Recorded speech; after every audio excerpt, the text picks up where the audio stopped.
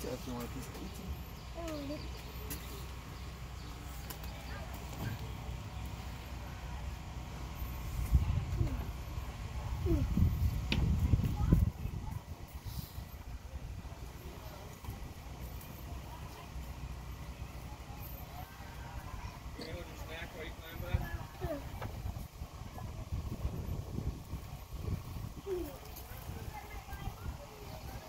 Job, Bobs.